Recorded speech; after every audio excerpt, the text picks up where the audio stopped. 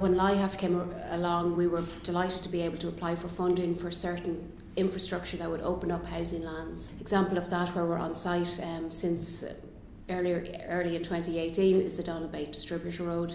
That road is really important because it delivers alternative access into Donabate, but it also opens up some housing lands for delivery.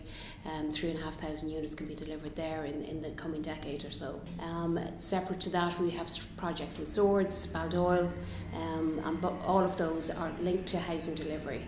And we'll be on site on the Rathbeal Road early 2019, and that's linked to the delivery of housing on Old Town Mooretown lands and also there'll be a new school starting there next September. So um, really good to have the infrastructure funding available to us. It's a very busy site. There's um, housing continues to be constructed there, and they're delivering month on month in terms of housing.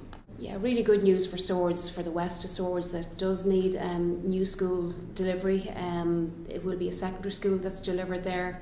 Infrastructure was needed to service the lands where the school will be located, and that's very important in terms of LIHAF as well.